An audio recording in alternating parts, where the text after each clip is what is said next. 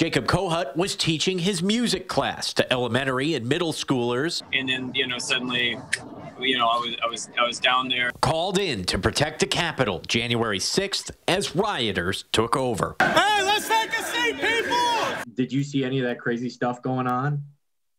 Not not firsthand, um, not firsthand. Just because by the time we got down there, uh, it had pretty much been wrapped up uh, by by local forces. But there were some of our own guys down uh, already um, doing traffic uh, control points and stuff like that. The Army National Guard sergeant spending the past few weeks in D.C., helping with logistics and security. The National Mall now decked out in barbed wire and barricades as armed protests are expected on Inauguration Day. The Saginaw native being kept busy and still finding the time to help his music students, even video chatting them from his Humvee. It's been really cool talking with them, um, connecting with them in class still, just just speaking through uh, civics and logistics and what a historic experience it is for them. And despite the tension in the air after the 6th,